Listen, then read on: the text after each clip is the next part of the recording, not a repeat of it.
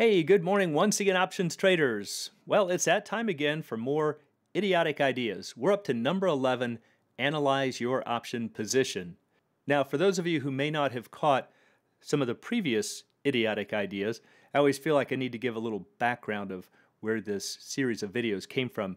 They are from a book from a person who claims to be an expert, to have run a newsletter, and has all kinds of accolades that would make you think that this is a good person to follow.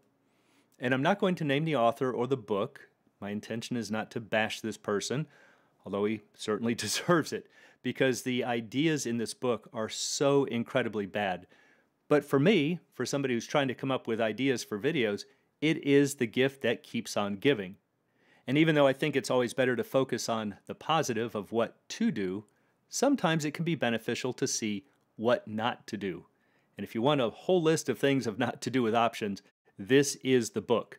So let's take a look at Idiotic Ideas number 11 Analyze Your Option Position. Before we do, as always, please be sure to click like and subscribe. It's greatly appreciated and helps to promote the channel. So, in this little section of the book, he says the beauty with options is that you can mathematically measure what an option is worth and what your probability of profit will be. Try to buy options where the option is under the fair price. Well, this is loaded with so many mistakes, I don't even know where to start, but it's like saying try to buy options that will only produce profits. To say that we can mathematically measure what an option is worth is completely false. It is true under a set of assumptions, but of course we have to wait and see if those assumptions come true. So, can you mathematically measure what an option is worth and what your probability of profit will be? Not really. So, to see why, for options, there are, are really five types of volatility. Some traders say four, and I think that's probably a better number, but I'm going to throw in a fifth one here as well. We have historic volatility, and that's something that we can actually measure. That's usually what shows up on your broker's platform that says this stock is trading at a 30% volatility. That's looking back in the past. It's an actual number, something that we can go back and with a mathematical formula measure. Then there's what's called the future volatility. This is the volatility that will occur in the future over the life of the option. Then we also have what's called the implied volatility. This is what we're looking at a pricing model and saying, well, what is the market implying the future volatility will be? And we can figure that out by saying, well, what's the option's price? And if we know the option's price, we use that as a known we work the model backwards. We'll look at some examples in a moment. And we say, well, the market is implying that this must be the volatility. You can also call another type of volatility the forecast volatility. This would be your opinion. So you might say, well, the historic volatility has been 30%, the market's implying 35%, but I think it's going to be 50%. That would be your forecast volatility. And then finally, we have what's called the realized volatility. This is what we can say once the option has expired. Once it's hit the finish line, we can go back and say, doesn't matter what the implied was or what your forecast was, this is the answer. Now, it turns out that's what we need to know.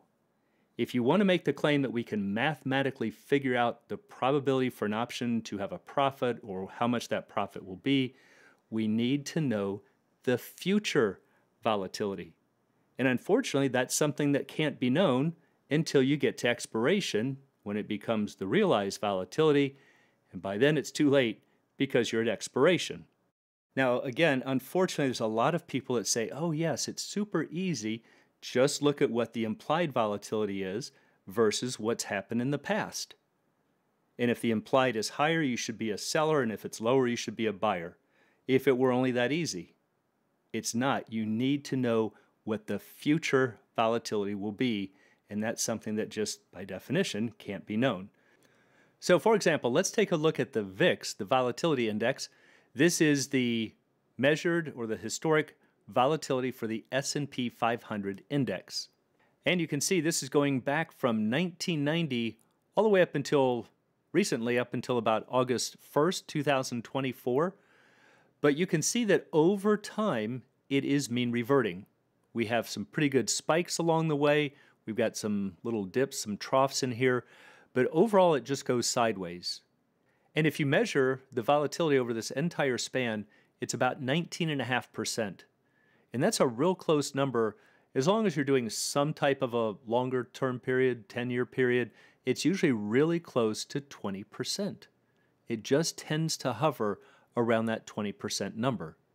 So, one way to visualize those five different types of volatilities, let's say this is today's date. Everything to the left would be historic volatility. It's done. We know that those are facts. That was how it was actually calculated. Everything to the right is unknown. That would be the future volatility. And this is really what we want to know when we're trading an option. And it depends on your time frame. If you're trading from this dotted line down to here, you really want to know what will be the volatility in that window. If you're trying to measure it over this entire chart here, you'd want to know what is the volatility over that time period. That's what you need to know, but now you should be able to see there's no way to know that. Now, your forecast volatility is saying, here's my guess, but no mathematical pricing model can give you an accurate assessment of profits or probability based on a guess.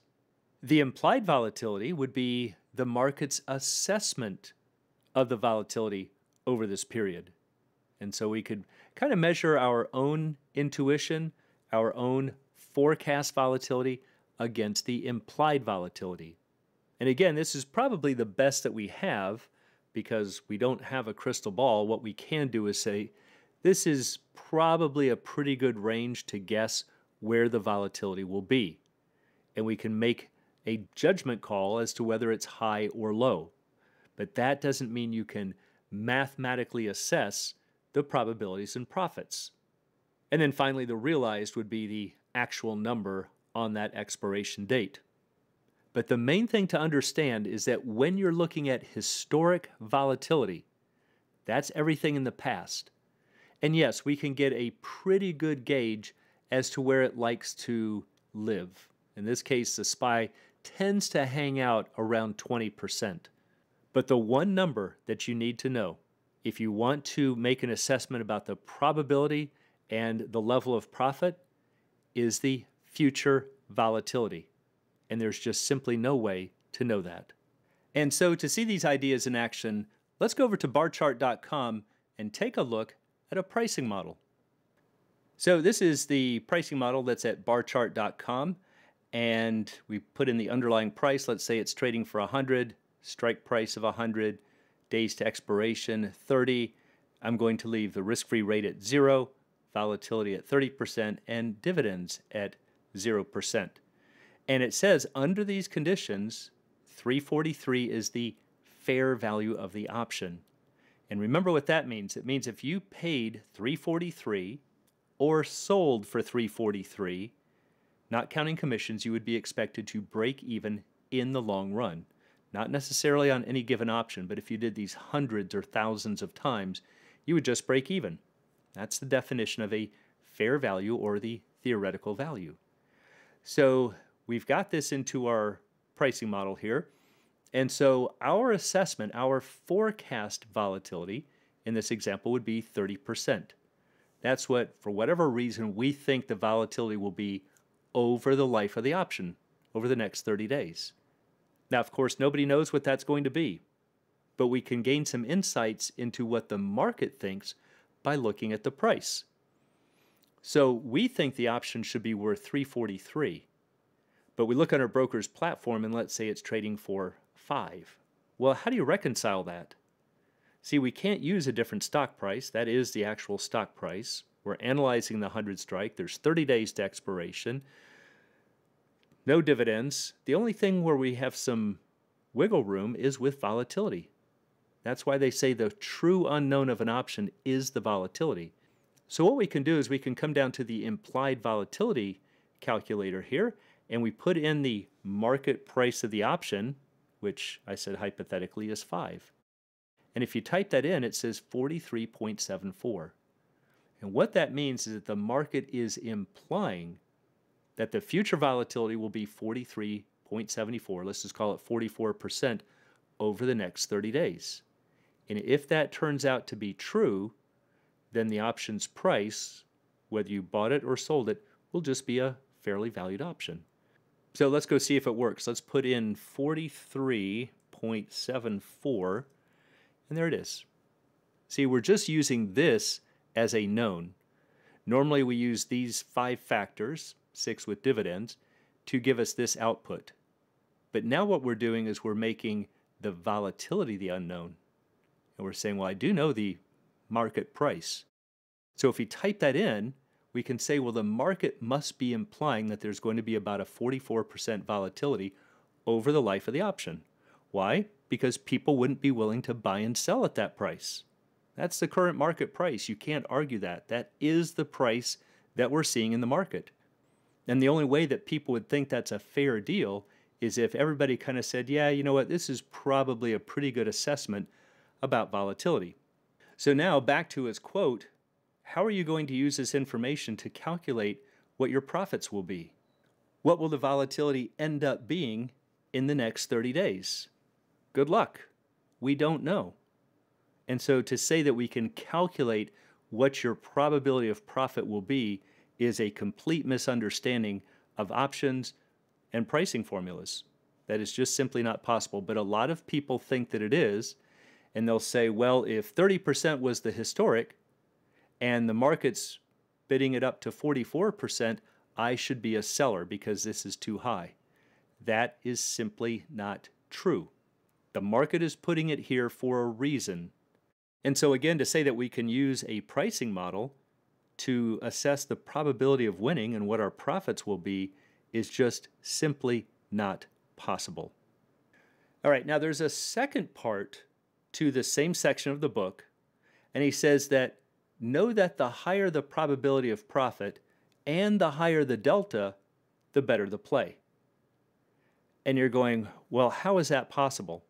First of all, you can't know it, but if you want to make an assessment of what the future volatility will be, then you can say, under those conditions, we can figure out what the delta is. And he's saying the higher the delta, the better the play. But who needs a pricing model for that? If you understand options, you know that the only way to get the deltas up is to put the option in the money. And of course, that's relative. It could be just a little bit in the money with almost no time to go. You'll get very high deltas. Or if we have a longer dated option, we have to push that option super deep in the money. That's just the Trumpification effect. Those are two ways to get your deltas up there. So let's go over to an Excel spreadsheet and see how that works. All right, so now we're into an Excel spreadsheet. This is from Macroption. There's the website, macroption.com. It's a one-time fee. It's a really wonderful analytical tool. A little tough to figure out at first, but it does some really cool stuff. Let's you analyze lots of positions, change volatility, dividends, anything you'd ever want to change. But let's say that the underlying stock is 100. Let's give it 30 days to expiration, actually 30 and a quarter. And that's because it's using actual days from the calendar that we can change right here. So we've got 30 and a quarter left, saying that the option is worth $3.60. Now, according to the book, the higher the probability for profit and the higher the delta, the better the play. Well, first of all, it's always wrong to say one type of strategy or strike is better. There are always trade offs. So, the one thing that we can look at, according to a pricing model, do you see this little term down here called ND2? That's just a normal probability under a bell curve. It's part of the Black Scholes pricing model. And effectively, what it is, it's the probability that the stock price is going to be above the exercise price. Now, technically, that's assuming that the underlying stock returns the risk free rate, which should be higher than that. So your probabilities are most likely higher than what's shown here, but it's just an assumption of the model called risk neutral pricing. So if we scroll down here, now we're starting to see probabilities 27%, 48, 54. How do I know that this is at the money? Because we know that an at the money option has roughly a 50 delta. And here we go, right there at 100. Shows about 48 delta, then we go 54, 64, 73, look at this. And eventually we come up here and we hit 1. Now most of you know your delta cannot exceed 1 because that's shares of stock. But take a look where that's lining up. Right there at 133. So think about it. We have roughly a 30-day option, $100 strike, and the stock's at 133. This is $33 in the money. So we know it's got to trade for at least $33 plus a tiny bit of extrinsic value. The problem with that is that in a different section of the book, he says never pay more than about $2 for an option. So if you're trying to push these deltas as high as possible to have the highest probability for success, you're going to have to use deep in the money options, unless you go super short term with them barely in the money. So for instance, let's change the number of days up here and let's go to, let's say we'll go to, knock it down to like maybe three days. Now let's come back to ND2 and look what happens. Look at how quickly we hit 1. See, now the stock's at 110. So I can have it 10 points in the money and have delta 1. If I knock this down some more, we've only got a little over a day to go. Now look what happens. Here's your ND2. Now we're hitting delta 1 with a stock at about 106. That's still a $6 option. So how are you going to get this to where you have a very high delta but not paying more than a couple of bucks? Well, let's see if we can, we'll knock it down to about a quarter of a day. So let's look at column Q right here. And now we can see delta 1. See, now we're hitting with a stock price around 103. So if you really and truly want to get the deltas as high as possible to give yourself a higher probability for profit and say that that's the better play, if you want to keep the options price, let's say under a couple of bucks, which is what he says in a different part of the book, and you want to keep your deltas high, the only choice you have is to trade something that is slightly in the money by 30, 40 cents, but with almost no time to go. That's the only way that that could be done. Otherwise, you're going to be paying 30, 40, 50 bucks for them. And I'm not against that. That's basically the stock replacement strategy, but he's saying that is absolutely no good. You've got to get your deltas high, your probability for profit high, and you do that by simply looking at a calculator. If options trading were that easy, we wouldn't even need calculators. So here's what it would look like graphically. Here's our $100 call. The current curve is in blue. Over time, what happens? The current curve moves towards the black. And the only type of option you could trade if you're trying to keep it under a couple of bucks would be like this when the current curve has almost met that black line. So if you look and let's say that the stock is maybe right here. Yeah, if we zoom in, you can see that this red line is getting pretty close to that black line. In other words, those deltas are getting very close to 1. And that would be a very high delta option, but you're out of time. And that's the only way that you can make that work. So the point is, there's actually lots of points, but probably the biggest one is that if somebody comes to you with this, what appears to be a fail safe method, and saying, oh, you just have to analyze your options, it's mathematically shown, there's a pricing model, and even talks about how it won the Nobel Prize in 1997, making it sound like options trading is easy because there's a pricing model. The pricing model is 100% correct if you give it the correct volatility and the correct interest rate. I've talked about that in a previous video. Those are called parameter Greeks for that reason. But he never mentions that. He just says go to a pricing model and you can tell if your option is cheap or expensive. And if you trade options that way, you're going to think you've got a mathematical edge for you, and you're probably putting a very big edge against you. And for anyone who'd like to learn more about the arts and science of options trading, please check out the Alpha Trader course, Strategy Lab, and a candlesticks and technical analysis course. It's all at optionsAtoZ.com. Also, please join us at Options A to Z's Facebook trading group, and you can find a link in the description below.